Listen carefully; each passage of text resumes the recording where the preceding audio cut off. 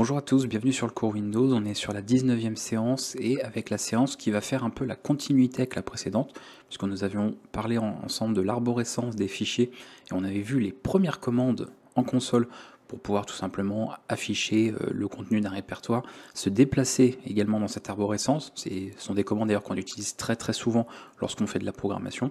Et là on voit c'est un petit peu comme une deuxième partie puisqu'on va voir comment manipuler nos fichiers, on va aller un petit peu plus loin dans l'usage des commandes. J'étais resté sur un usage très simple pour la première vidéo, parce que c'était vraiment la première sur laquelle on commençait à aborder ensemble des commandes.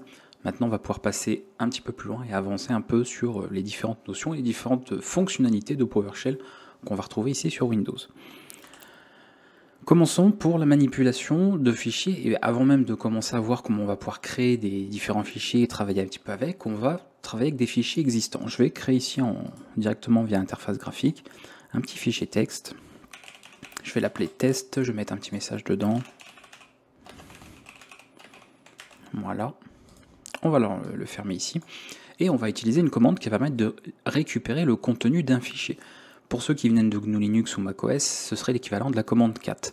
D'ailleurs, pour rappel, je vous avais dit hein, qu'au niveau de PowerShell, les commandes ont beaucoup d'alias, notamment pour pouvoir être compatibles, si vous voulez, avec les commandes history. Donc sans le vouloir peut-être de manière transparente, vous utilisez déjà des fonctionnalités de PowerShell en pensant simplement utiliser des vieilles commandes DOS comme justement des commandes dire et ainsi de suite, puisque encore une fois elles font partie des alias. Et ça tombe bien parce que la commande que nous allons utiliser est getContent et un de ces nombreux alias par exemple bah, est la commande cat, voilà, celle que vous retrouvez également sur euh, d'autres systèmes d'exploitation. Donc l'avantage de tout ça encore une fois c'est que si vous venez d'un autre système ou vous avez l'habitude même d'utiliser un autre système, hein, que Windows n'est pas le seul, eh bien vous pouvez quelque part trouver une certaine uniformité dans les commandes sans avoir à retenir davantage de noms de commandes si vous voulez. Sachant qu'encore une fois ce sont des alias, donc c'est exactement la même chose. Dans toutes les commandes que je vais vous montrer, par exemple à ce qu'on va voir, que j'écrive getContent, donc ça c'est le nom exact, on peut au niveau de la commande euh, euh, l'appli de commande, ou même que je l'écris avec une case différente puisque euh, Windows ne nous embête pas on va dire à ce niveau-là, ou que j'utilise un de ces alias, ça revient à la même chose, même quand on va utiliser des arguments sur les commandes, comme on va le voir très vite sur la suite de la vidéo. Donc moi, je pour question, des questions d'habitude, parce que c'est quand même voilà, un, peu plus, un peu plus récent, on va utiliser ça, mais dans tous les cas, au niveau des documentations, vous pouvez retrouver les alias. D'ailleurs, puisqu'on en est sur ça, quand on utilisait getHelp euh, dans la vidéo précédente, je vous avais pas forcément montré un de ces alias, mais il y en a un qui est bien connu. Pour ceux qui viennent de Linux et macOS, qui est la commande man. Donc à tout moment, eh si je fais man suivi de quelque chose, par exemple ce qu'on avait vu la dernière fois, on peut retrouver ceci. Voilà.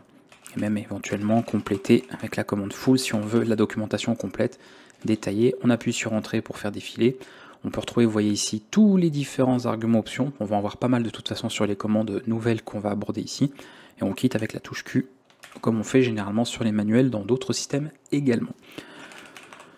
Revenons à getContent et on va tout simplement afficher le contenu de mon fichier. Donc généralement on prend un chemin et vous m'avez aussi, vous avez remarqué sur la vidéo précédente, puisqu'on débutait, donc je vous ai dit je voulais vous faire commencer très doucement, je notais directement l'option derrière, c'est-à-dire l'argument, bah là le fichier. Donc ici par exemple je pourrais noter directement le nom de mon fichier. En réalité, par défaut, nous avons en tout cas une autre option qui est disponible sur quasiment toutes les commandes de PowerShell, qui est l'argument path. Quand vous mettez ceci, vous devez ensuite préciser le chemin vers lequel vous voulez. Alors là, ça tombe bien puisque je suis dans mon répertoire personnel et que ce fichier est sur le bureau. Donc ça peut être plus pratique. Généralement, si vous êtes bon dans le répertoire courant, donc si par exemple je suis ici directement, je vais directement sur le bureau, je complète avec Tab, et à ce stade, comme le fichier est présent à cet endroit, c'est plus rapide de faire get content et de mettre directement le nom du fichier. Mais ceci, alors j'ai mis une petite euh, sans faire exprès, voilà, ceci, et vous voyez que ça affiche bien le contenu du fichier, revient bah, à noter bon, la commande avec son alias, voilà. J'auto-complète comme vous voyez avec tab systématiquement, ça fait gagner du temps, et ça revient au même, évidemment, que de noter, soit la commande getContent, soit un de ses alias, et ensuite de noter pass, et pourquoi pas même, c'est mieux de le mettre entre euh, double guillemets, parce que c'est une chaîne qui est attendue, de faire ceci. Vous avez plusieurs manières. Donc ça, vous le verrez très peu l'utiliser, puisque la plupart du temps, on peut s'en passer. Voilà, c'est implicite. Donc généralement, je mets directement le nom, euh, en tout cas l'argument que je veux, et après les options éventuelles à la suite, si on veut en utiliser. Ça, c'est une option que j'utilise très peu, parce qu'elle est assez induite dans les commandes qu'on utilise. Donc c'est très pratique. Petit point également, je fais un petit rappel rapide parce que j'allais pas faire une vidéo juste sur ce point-là, mais c'est bien qu'on le voit quand même très tôt, comme ça on pourrait dire qu'on l'a vu. Dans la vidéo précédente, je vous avais parlé de ces symboles quand on mettait le deux points qui permettaient de faire référence au répertoire parent. D'accord? Vous voyez ça comme une sorte de variable, d'accord, qui vous dit quand on met ça, c'est pour dire qu'on revient une fois en arrière, donc sur le répertoire parent. Donc là, bah, c'est répertoire parent où se trouve le répertoire qui contient le bureau. Donc si je fais ceci, je reviens une fois en arrière. Le point est l'équivalent du répertoire courant, d'accord? Donc si je fais un ls ceci, ça veut dire affiche-moi, liste-moi le contenu du répertoire actuel. Et le répertoire actuel, bah, c'est mon répertoire personnel. D'accord? Donc celle-là, pour le coup, ça reviendrait à ne rien mettre du tout aussi, puisque la commande par défaut se fait dans le répertoire où on se trouve. Donc ça ne servirait pas à grand-chose. Et enfin, dernier petit caractère bien pratique qu'on retrouve également sur d'autres systèmes d'exploitation, qui est la tilde. La tilde fait automatiquement référence à votre dossier personnel. Donc si à un moment donné je me mets ici, d'accord, sur le bureau, eh si je veux lister le contenu de mon répertoire personnel, pas besoin de forcément me redéplacer à l'arborescence, je peux directement faire ceci, j'utilise la tilde et ça fera forcément référence au euh, dossier, au répertoire personnel de l'utilisateur, donc de la session qui est en cours. D'ailleurs, ça vous indique bien quel répertoire, à quel répertoire cela fait référence. Donc c'est vraiment très pratique et c'est vraiment trois caractères à connaître. Le point, c'est ce qui fait office euh, d'emplacement courant. Le deux points, c'est l'emplacement parent, d'accord?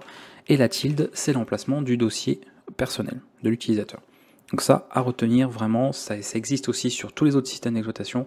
Donc une fois que vous le savez pour Windows, vous le savez pour Linux, vous le savez pour macOS, vous le savez pour Android, et ainsi de suite, FreeBSD, et il n'y a pas de problème du tout. On en revient à GetContent. Maintenant, on va aller un peu plus loin, parce qu'on plutôt que simplement dire, bon, on fait une commande, on passe ici ce sur quoi on veut utiliser la commande, terminé, c'est bien joli, et on va commencer à utiliser différentes options, différents arguments, appelez ça comme vous voulez, peu importe, qui vont permettre bah, de travailler sur, euh, euh, la commande en question et d'appliquer éventuellement des filtres ou d'autres euh, paramètres bien précis. Donc en tant que paramètre, bah, justement, moi ici, comme je sais que je peux avoir des problèmes d'encodage, bon là on a du bol, j'ai pas mis d'accent, de caractères spéciaux dans mon fichier, pour être sûr de travailler toujours en Unicode, puisque c'est ce que je vous indique de, faire hein, toujours précisément en informatique, et eh bien ici on a cette commande qui prend un paramètre qui est encoding, et vous pouvez préciser l'encodage vers lequel on vous renvoie les données. Donc en faisant ceci, bah, s'il y a des caractères personnels d'ailleurs, on peut peut-être le faire hein, finalement.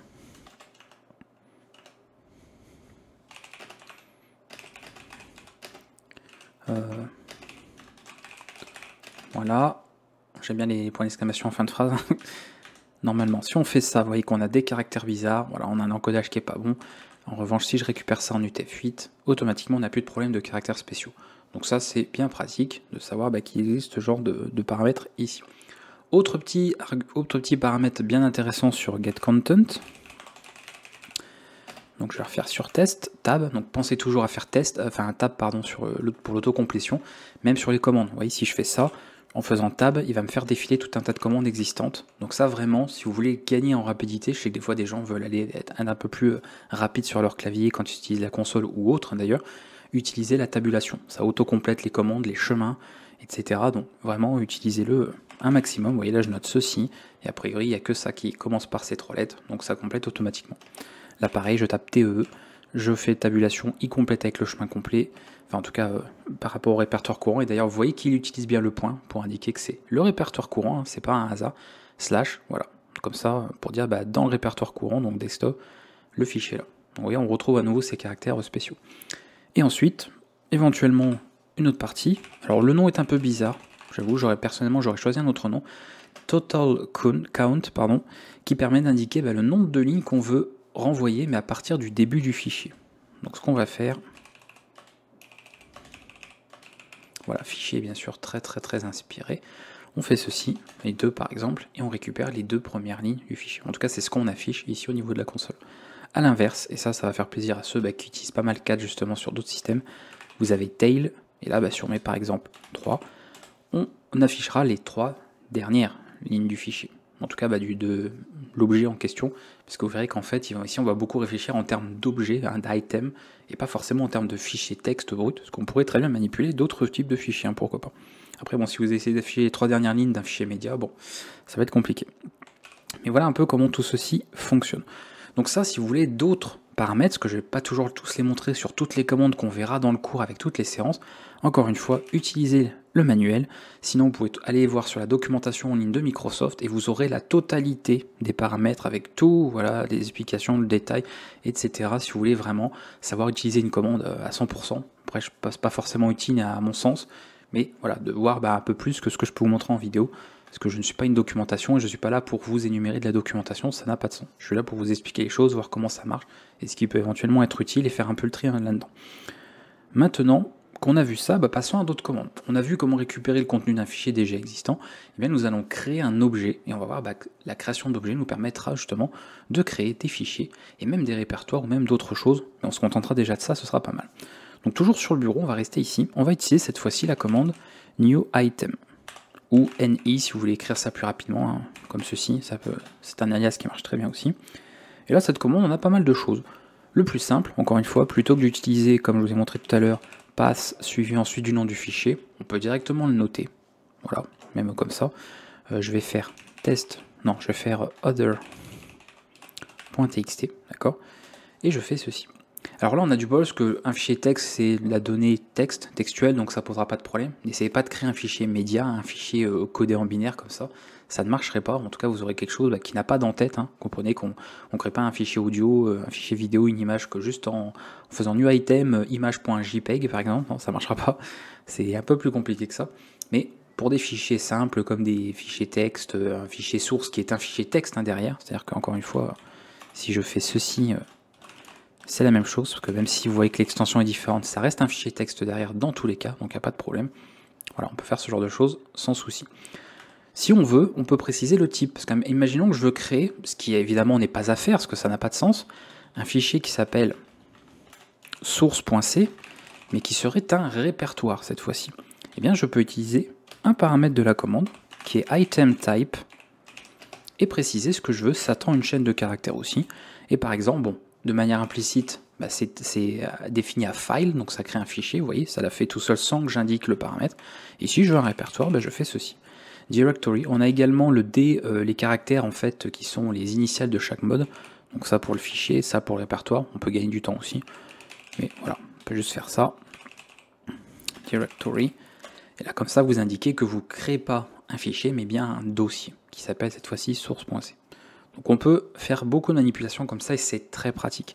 Encore une fois, je vais, ce sera peut-être la dernière fois que je le répéterai, ou quasiment en tout cas, pour ceux qui se diraient mais à quoi ça sert de faire tout ça alors qu'au finalement je fais clic droit ici avec ma souris, je fais nouveau, etc. Eh bien c'est que d'avoir des commandes ici, là effectivement on les utilise dans un terminal, d'accord Mais c'est un langage. Vous avez un langage de programmation que vous êtes en train d'apprendre là. C'est-à-dire qu'on va même pouvoir faire des variables par la suite, écrire des boucles, des fonctions, faire tout un tas de choses. On a un langage de programmation avec un paradigme objet. PowerShell est très très complet, très puissant et possède tout un tas de fonctionnalités. Donc vous pouvez à la fois l'utiliser de manière directe ici en ligne de commande, mais vous pourrez également écrire toutes ces commandes dans un fichier et exécuter des scripts, d'accord? Écrire de vrais programmes avec tout. Ou par exemple, bah, vous renvoyez le résultat d'une commande dans une variable, et ensuite vous utilisez cette variable pour une autre commande, et vous pouvez carrément bah, générer un des programmes, des traitements à la volée de manière automatique. Et ça, c'est des choses qu'on verra, on verra pas mal quand même, on, va bien bien bien prendre le temps de, détailler un petit peu tout ça dans le cours, dans ce chapitre. Donc vous verrez un petit peu toute la puissance, et au fur et à mesure qu'on va avancer dans les séances, vous allez voir que c'est très complet vraiment, et c'est bien plus complet d'ailleurs qu'un langage comme Bash, hein, qu'on retrouve sur Linux, qui lui vraiment est à la base fait surtout pour la ligne de commande, un peu de, d'écriture de script évidemment, mais reste beaucoup plus limité. D'accord? On ne peut pas créer forcément des objets, commencer à faire des trucs euh, comme on retrouverait dans, des langages de programmation avec, euh, qui manipulent, qui utilisent le paradigme objet. Là, on a quelque chose de bien plus complet. On a vu pour récupérer du contenu, on a vu pour créer un objet, d'accord Donc par exemple un fichier, un répertoire. Maintenant, on va pouvoir faire tout un tas de manipulations sur tout ça. Par exemple, on va commencer par déplacer quelque chose. Donc là, je vais vous ouvrir bien sûr une petite interface, ce sera plus lisible pour vous. On va aller ici, hop, et on va, alors on va plutôt le mettre là, parce qu'on le verra sur, la, sur la gauche, voilà ici, et on va déplacer avec move item ou son alias MV, comme sur Linux macOS, je vais pas arrêter de le dire, mais voilà, les alias, Microsoft a toujours repris les noms de commandes d'autres systèmes, comme ça les gens ne sont pas dépaysés, et ça, bah, ça prend la source, la destination. Voilà. Au plus simple, en tout cas, si on veut, si on veut se contenter, si vous voulez, d'éléments, on va dire, euh, les plus classiques. Alors pareil, j'avais pas dit pour new item, si admettons vous voulez recréer un fichier avec un nom qui existe déjà, vous avez l'argument force. Et on le retrouve sur beaucoup de commandes aussi. C'est pour dire bah, de forcer la commande pour écraser un ancien fichier qui existerait déjà. Voilà. Mais pareil, bon, je vais pas tout énumérer non plus. Donc là, je fais ça. Je suis déjà sur le bureau, d'accord, donc je m'embête pas. De toute façon, avec l'autocomplétion, il va mettre le point pour être sûr. Donc je peux faire test, hop, je fais tab, comme ça il autocomplète. Et ensuite, je vais le mettre dans mon répertoire personnel. Donc je vais utiliser la tilde. Vous voyez, je ne vais pas embêter à écrire un chemin absolu à rallonge. Point euh, anti-slash, j'ai pas utilisé le bon caractère, voilà. Et euh, non, pardon, je fais des bêtises, il n'y a pas besoin du point, n'importe quoi anti-slash directement, parce que c'est le répertoire personnel, et puis c'est tout. Et à la rigueur, je peux même juste faire ça, parce que je voulais, que je voulais mettre dans un sous-dossier, mais on va le mettre directement dans, le dossier personnel. Donc en faisant ceci, ça déplace le fichier. Évidemment, je voulais le mettre en document, donc c'est raté, mais c'est pas grave. On va aller dans ici, on va revenir là. je vous montre comme ça en même temps en graphique pour que vous voyez que ça arrive bien à l'endroit où vous voulez. Voilà, on est bien dans mon répertoire ici, vous voyez. Donc la tilde hein, a bien, bien fait référence au bon endroit, bon emplacement. Je peux ouvrir le fichier pour voir que c'est bien lui, voilà, pas de problème on a bien déplacé ce dernier. Vraiment très pratique de faire ceci. On peut également faire de la copie, c'est-à-dire que, euh, alors, on, a, plus ou moins tout vu ici. Faire de la copie, par exemple, alors on va le faire euh, bah, directement avec ce qu'on a sur le bureau. Hein. Donc vous voyez les commandes très compliquées à trouver. Hein. Une fois que vous en connaissez une, euh, quelque chose, item, on a plein de commandes pour manipuler des objets, donc tout un tas de commandes avec le même suffixe, on va dire. Et ici, bah pareil, other. Je vais faire une copie. Bon, lui, il avait rien dedans, alors éventuellement, on va faire ça avant. Euh, lol. va super. Merveilleux. On va faire ça et on va le mettre dans ici, la tilde, pardon, voilà. Et ensuite, alors vous voyez là, je peux mettre slash, je peux écrire document. Et normalement, en faisant tabulation, il va tout changer. Vous voyez, hop, bon, il a décidé qu'il voulait mettre le chemin absolu, peu importe. Et je peux faire ça comme ça. Euh, ok. Je fais ça. Ici, bon, on voit que le fichier n'a pas bougé. Normal, on a fait une copie hein, cette fois-ci. Je vais dans Document et on voit qu'on le retrouve ici. Je vais l'ouvrir et le fichier est bien le même, donc il n'y a pas de problème. On peut faire de la copie comme ça. Très pratique.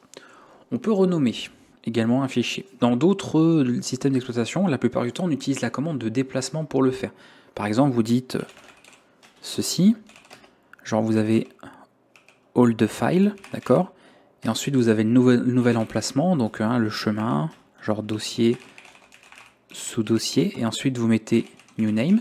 Et ça va déplacer ce fichier. Mais comme vous avez indiqué un autre nom à la fin pour le fichier, mettons, voilà, si on a ça, je vais mettre une extension pour ne pas vous perdre. Voilà. Et eh bien, all the file va devenir newname.txt. Enfin, d'accord, ça fera l'opération en fait en déplaçant. Et si vous mettez le même chemin, c'est-à-dire sans mettre un chemin différent, parce qu'on ne veut pas déplacer le fichier, on veut juste le renommer, en faisant ça, et eh ben, il va, lui, pour lui, qu'est-ce que ça veut dire si on ne met rien et eh ben, Ça veut dire que c'est le répertoire courant. Donc en fait, ça revient à faire ça. Il va dire bah, le fichier qui est dans le répertoire actuel, qui s'appelle oldfile.txt, tu le déplaces dans le répertoire actuel et ça devient newname.txt. Donc ça va faire un renommage.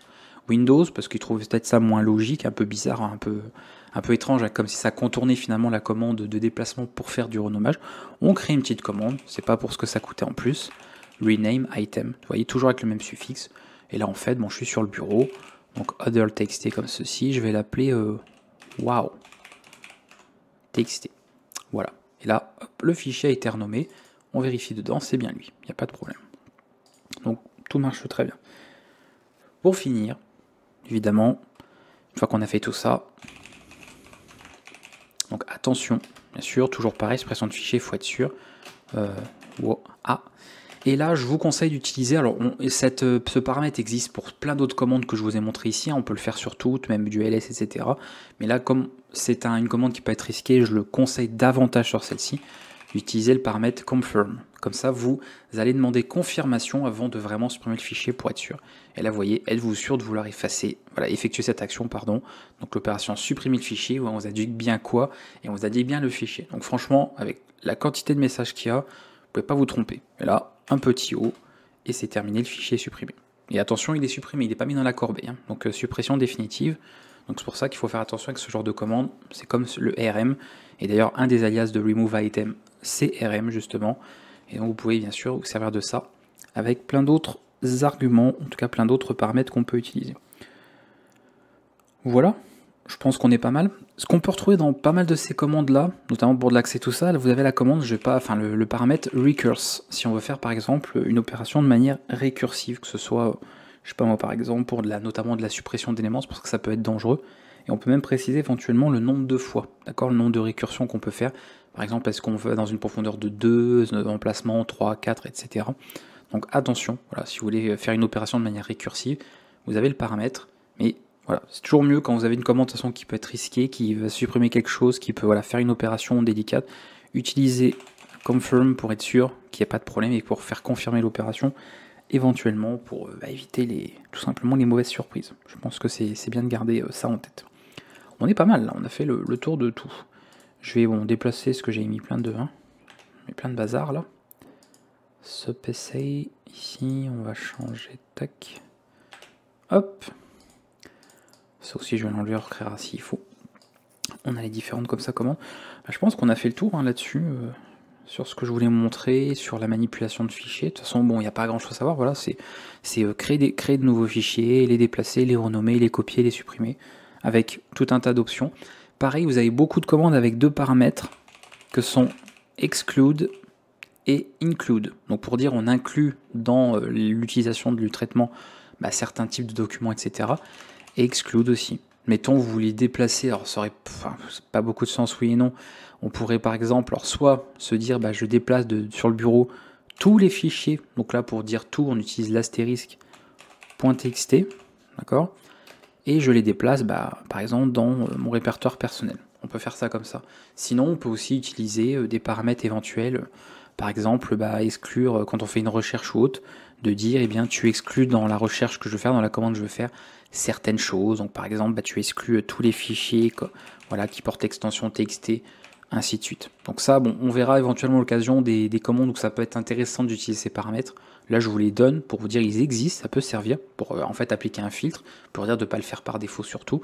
Voilà, on peut exclure des commandes que l'on fait euh, selon certains critères et on peut au contraire inclure dans la commande que l'on fait selon certains critères. Donc on a ces deux paramètres là qui sont intéressants, je pense.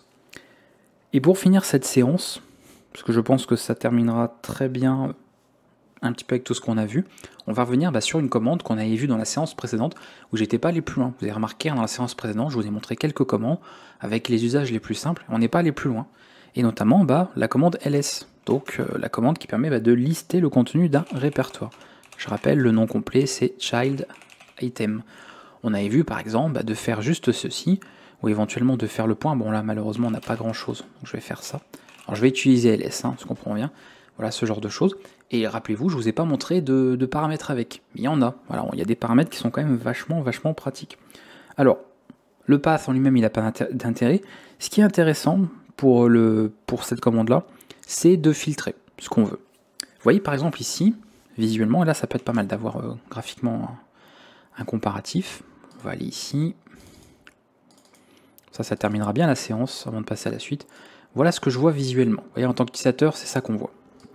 Ça, c'est ce que j'ai dans le terminal. Visiblement, ça correspond.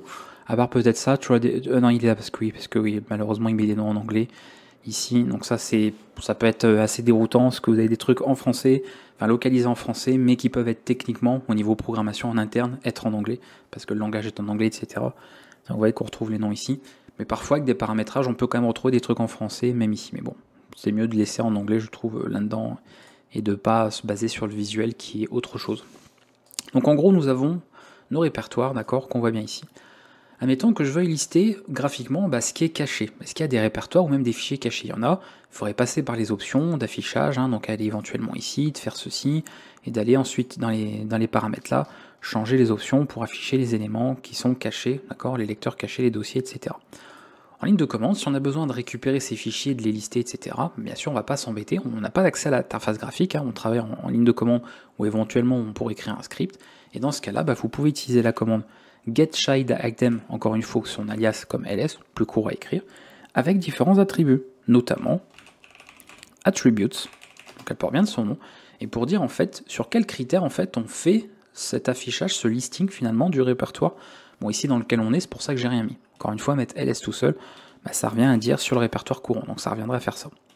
Voilà, sinon bah, vous mettez euh, le chemin dans lequel vous voulez, éventuellement la commande complète encore une fois, vous faites ceci, et vous mettez le chemin, voilà, complet, et ensuite vous faites tout votre truc, d'accord?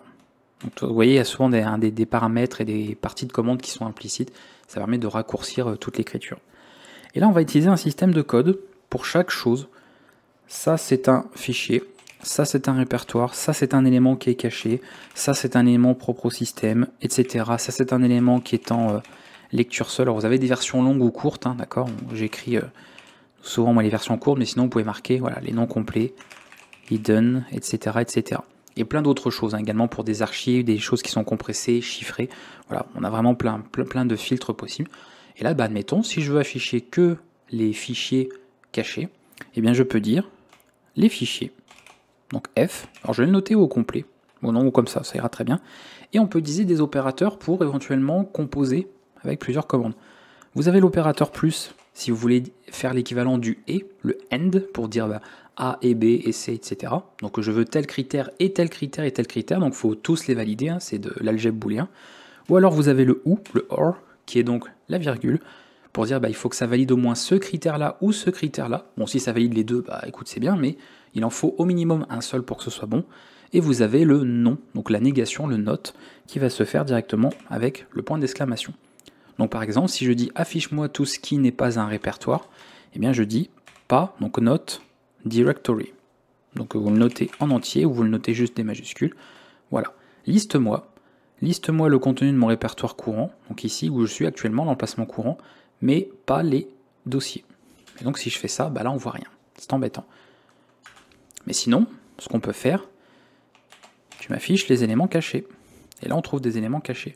Donc tout ce qui est fichier, et en tout cas ce qui est caché.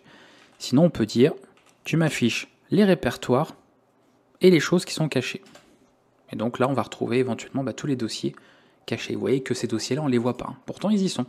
Là, il y a le dossier AppData. Vous voyez, on l'avait déjà fait avec la variable, hein, en passant ici en notant euh, point, point euh, pourcent, pardon, AppData pourcent. Donc euh, ici, il est bien dans cet endroit. Hein.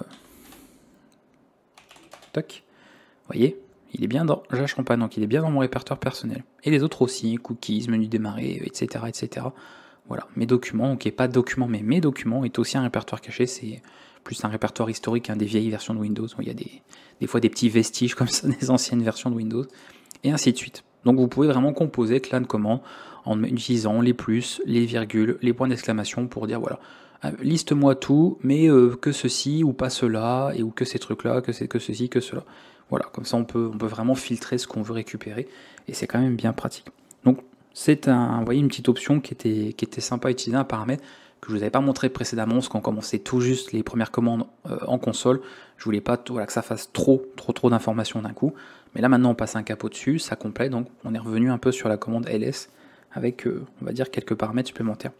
Et là pareil, bah, on va revenir sur la récursion très rapidement, parce que je vous ai montré le paramètre sans forcément l'utiliser dire finalement si je fais ls ici, vous voyez, je lis cette partie-là. Mais imaginons que je veux lister tout le contenu du répertoire courant et de ses sous-dossiers. Et je pourrais carrément le faire pour tous. Alors si vous faites ça, ça peut être suivant où vous êtes très long, puisque ça va parcourir tous les sous-dossiers, des sous-dossiers, des sous-dossiers, des sous-dossiers. Donc ça peut être vraiment très très long suivant où vous êtes. Sinon, bah, vous pouvez choisir le niveau éventuellement de récursion. Donc la profondeur de récursion, et là vous pouvez lui dire, voilà, tu vas pas plus loin que par exemple deux sous-répertoires, voilà, deux profondeurs, etc. Donc on peut comme ça limiter, parce que si vous le faites, je sais pas moi, euh, si on revient ici, voilà, et que je fais un ls recurse, vous voyez, ça peut être très long, parce qu'il va lister tous les contenus des sous-répertoires, des sous-répertoires, des sous-répertoires, des sous-répertoires, des sous-répertoires du euh, disque local. Ça peut être très long. Alors que si je fais ça, on va, hop, ceci, et je dis tu te contentes de deux, il va y en avoir pas mal parce qu'il y a quand même beaucoup de dossiers répertoires, mais il va s'arrêter avant parce qu'il s'arrêtera à deux profondeurs. D'accord? Donc on peut comme ça contrôler un petit peu. Ah bah il s'est arrêté avant, avant que je le stoppe, je crois, peut-être pas. Euh, mais voilà, on peut comme ça contrôler un petit peu le, bah, nombre de choses hein, finalement qu'on a. Et pareil, on peut utiliser bon, bah, les noms aussi, parce que ça qu'on n'avait pas forcément fait. Euh... Il me semble pas qu'on l'avait... Je vous forcément montré.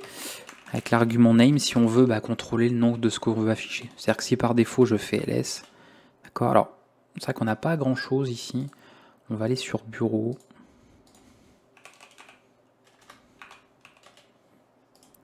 Truc.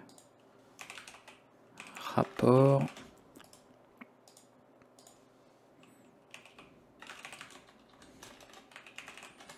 Voilà.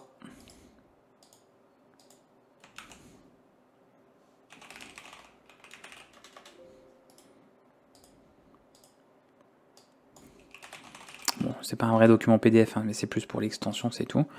Voilà, on fait ceci. On va se placer sur le bureau. Ok. Et ici, bah, évidemment, je peux limiter ce que j'affiche. Alors, on peut faire encore une fois sans utiliser name, etc., hein, qui peut être beaucoup plus long. On peut de manière implicite, hein, directement induite, et bien dire voilà, tu me listes bah, tout ce qui en fait porte l'extension PDF. Voilà, cet endroit-là, il va vous le faire. Vous voyez, l'astérisque qui dit tout. Voilà. Et comme ça, vous pouvez faire ça. Sinon, bah, vous pouvez dire tous les fichiers qui euh, portent le nom, euh, je sais pas moi, euh, qui s'appelle. Bon, la problème, c'est que là, il n'y en a pas beaucoup, donc il faudrait que je fasse ça en fait. Voilà, doc.odt par exemple, comme ceci. Et ici, je peux faire bah, l'inverse. Voilà, tout ce qui s'appelle doc, et peu importe l'extension. Voilà, on peut faire ça comme ça. Donc il y a vraiment plein, plein, plein, vous voyez, plein de petits caractères qui peuvent être vraiment utiles pour affiner les résultats de votre recherche. Et encore une fois, n'oubliez pas bah, que tous ces retours de commandes, tout ça, sont des choses qu'on pourra récupérer par la suite dans des programmes, dans des scripts, avec lesquels on pourra euh, vraiment exécuter tout un tas de traitements. Donc ça peut être très puissant. On peut vraiment faire beaucoup, beaucoup, beaucoup de choses avec tout ça. Et nous avons fait le tour. Vraiment, nous avons fait le tour pour cette vidéo. Là, si vraiment vous n'avez pas ce qu'il vous faut pour pouvoir faire de la manipulation de fichiers sur Windows en ligne de commande, je ne sais pas ce qu'il vous faut, mais vous avez pas mal de commandes. Donc je résume, nous, sommes revenus un petit peu en détail sur le fait de pouvoir lister le contenu d'un répertoire. On a vu comment récupérer le contenu d'un fichier, quel qu'il soit, d'un objet, comment on crée, comment on déplacer, renommer, euh, copier, supprimer. Comme ça, on a vraiment fait le tour des commandes les plus standards en tout cas ici. Donc logiquement, vous avez dû peut-être apprendre beaucoup de choses si vous ne faisiez pas, ou très peu en tout cas, de PowerShell. On aura euh, eu l'occasion de voir tout ça ensemble. Moi je vous dis à bientôt. On va pouvoir se retrouver pour la prochaine séance. On parlera a priori des utilisateurs, des groupes, vous savez, tous ces, tous ces systèmes-là. C'est encore quelque chose de particulier sur Windows. Et comme je vous avais dit, je suis à peu près la structure que j'avais faite euh, concernant la ligne de commande sur mon cours GNU Linux. Je suis à peu près les mêmes thèmes, on va dire, pour être assez cohérent. Donc on abordera a priori cette partie-là pour voir un peu comment ça se passe, parce que jusqu'à présent, au niveau du cours, on avait juste vu comment créer de nouveaux utilisateurs graphiquement, comment changer le type de compte. Je vous avais même expliqué, vous pouviez virer le, mode administrateur pour être sur un compte limité pour sécuriser davantage, comment changer l'image du compte, voilà, sur des choses très standards. Alors on va voir comment que ça se passe au niveau du système proprement en interne, et les groupes aussi, voilà, que sont les groupes, à quoi ça sert, et on verra comment travailler un petit peu avec tout ça. Je vous dis à bientôt, s'il y a des questions, comme d'habitude, pensez aux commentaires pour les poser, et on se retrouve pour la prochaine séance. Ciao